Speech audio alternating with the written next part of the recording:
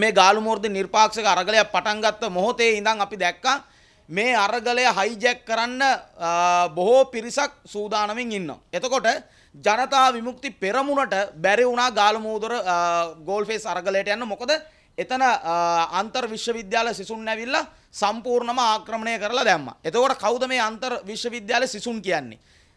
දැන්න ඇත්තරම විශ්වවිද්‍යාල සිසුන් කිපා පිස්සර හිතුව හොඳ උගත් බුද්ධිමත් තරුණ පරම්පරාවක් ඉන්න කියලා.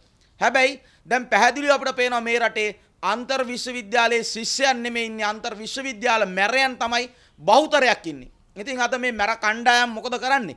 කුමාර් ගුණරත්නම්ගේ ඒ කියන්නේ පෙරටුගාමි පක්ෂය තමයි අල්ලගෙන ඉන්නේ මේ පෙරටුගාමි එකෙන් තමයි ඊළඟ නායකයාව තරුණ නායකයාව බිහි කරන්න ඕනේ කියන මතයක් තුළ මෙන්න මේ අන්තර් ශිෂ්‍ය විද්‍යාල සිසුන් ඉන්නවා.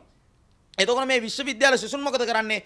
ගාලු මෝදුරු පිටිය ඒ වගේම මේ වෙනකොට අග්‍රාමාත්‍ය කාර්යාලය අග්‍රාමාත්‍ය නිල නිවස ඒ වගේම ඒ ස්ථාන සියලුම දේවල් අල්ලගෙන ඉවරලා මේ අන්තර් විශ්වවිද්‍යාල ශිෂ්‍යෝ මොකද කරන්නේ සම්පූර්ණයෙන්ම මෙයාලා හදන්න යනවා සිංහල දකුණේ සිංහලයනොත් ඒ වගේම උතුරේ ද්‍රවිඩ මිනිසුනුත් එක්කව කරගෙන සිංහල දෙමළ කලවන් වුණු ප්‍රභාකරන් කෙනෙක්. ඉතින් ඒ ප්‍රභාකරන්න බිහි කරන්න තමයි මේ අන්තර් විශ්වවිද්‍යාලයේ සිසුන් මේ වෙනකොට පාරට බැහැලා. ඉතින් එතකොට මේගොල්ලෝ උලුප්පා දක්වන්න යන නායකත්වය කවුද? අපිට අලුත් නායකෙක් ඕනේ. මේ ජනාධිපතිට යන්න කියනවා.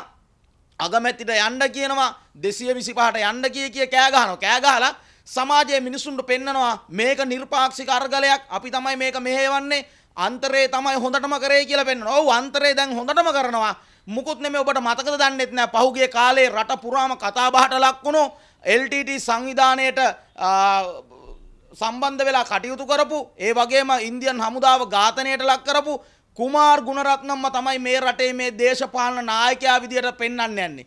ඉතින් මේ කුමාර් ගුණරත්නම් කියන්නේ කවුද කියන එක අපි කවුරුත් දන්නවා. මොකද කුමාර් ගුණරත්නම් තමයි 89 ජනතා විමුක්ති පෙරමුණේ සන්නද්ධ ලේකම් විදියට හිටියේ. ඒ වගේම අපි කියන්න ඕනේ විශේෂයෙන්ම මෙන්න මේ සන්නද්ධ අරගලය මේගොල්ලන් ඉවර නැහැ. මේගොල්ලෝ මේ සන්නද්ධ අරගලේ ආරම්භක අවස්ථාවේ තමයි දැන් මේ ඉන්නේ. ඒක නිසා පෙරටුගාමින්ට උමනා වෙලා තියෙනවා මේ රට ලේ විලක් බවට පත් කරන්න. මේ රට ඉන්න අහිංසක තරුණයන්ගේ ජීවිත බිලිදීලා මේ රට මහා ප්‍රපාතයකට අදලා දාලා රට සම්පූර්ණ විනාශ කිරීමේ උමනාවක් තියෙනවා දැන් මේ පෙරටුගාමී අයට. ඉතින් ඒක නිසා අපි ඇත්තටම හිතුවා මේ සටන් බිම අස්සේ ගේම ගහගෙන ඉන්නේ ජනතා විමුක්ති පෙරමුණ කියලා. හැබැයි ජනතා විමුක්ති පෙරමුණට වඩා හපන් දැන් මේ පෙරටුගාමි සගයෝ ටික මෙන්න මේ සගයෝ ටික එක්කව වෙලා සම්පූර්ණ විශ්වවිද්‍යාලයේ ශිෂ්‍යයන් අල්ලගෙන මේ ශිෂ්‍යයන්ව කුලප්පු කරලා පාරට බස්සලා මෙන්න මේ තුලින් නායකත්වය ගන්න යනවා කුමාර් ගුණරත්න. ඒතකොට අපිට අහන්න ඕනේ මෙන්න මෙහෙම ප්‍රශ්නයක් තියෙනවා 1989 දී ඉන්දියන් හමුදාව ඝාතනය කරලා ඒ ගත්ත අවිය ආයුධ කොහෙද තියෙන්නේ? අන්න ඒ අවිය ආයුධ කොහෙද තියෙන්නේ කියන එක විශේෂයෙන්ම හොයන්න ඕනේ. මොකද මෙන්න මේ අවියායුධ අපි ඇත්තටම අපි සැක කරනවා. මෙන්න මේ අවියායුධ කොහේ හෝ තැනක මේ ලංකාවේ මොවුන් දන්න ස්ථානයක සංගවා තිබෙනවා කියන සැකයක් අපිට තියෙන. නිසා මේ සම්බන්ධ විශේෂ පරීක්ෂණයක් කරන්න මොකද අපිට මේ වෙනකොට නිර්නාමික ඔත්තු සපයන අපේ සමාජීන සමහරක් පුද්ගලින් මේ වෙනකොට අපිට සියලු තොරතුරු දීලා තියෙනවා.